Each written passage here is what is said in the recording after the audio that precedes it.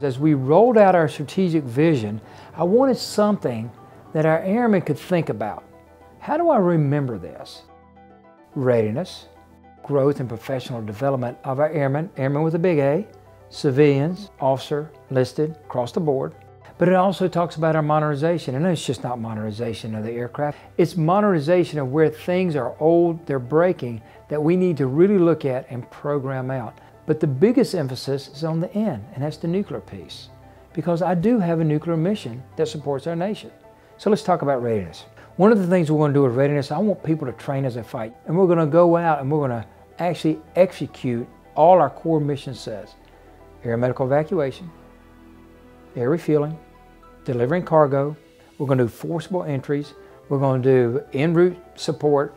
So you're going to be able to do in realistic training in about two weeks a period, you're going to be able to knock out all your training, get your readiness up, and you're actually going to practice as we know right now as we execute war. The second piece is, is the G and S of growth and professional development. If I have guest speakers come in, when's the last time you heard a motivational speaker? Or have you ever?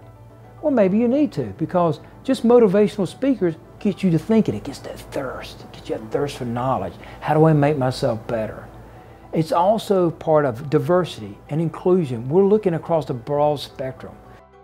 We talked about modernization, modernization of our equipment, modernization to make things better, the way, whether it's computers or systems or IT, and we're going to get after cyber in this modernization because that's a big threat for us. And then lastly is the nuclear piece. If you have a nuclear mission, polish off the nuclear mission.